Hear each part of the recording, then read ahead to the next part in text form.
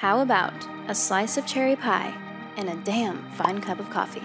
Let's take a trip to Twede's Cafe, famously known as the Double R Diner, from Twin Peaks, of course, located in North Bend, Washington. Customers here are a mixed bag of hikers, locals, and of course, the die-hard Twin Peaks fans such as myself. This is still a fully operational diner, looks exactly as it does from the show.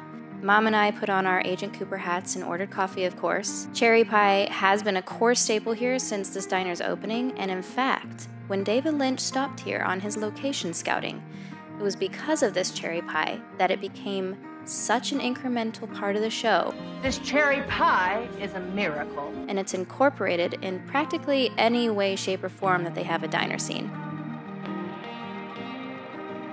As famously quoted, this must be where pies go to die. Well said, Agent Dale Cooper. Well said.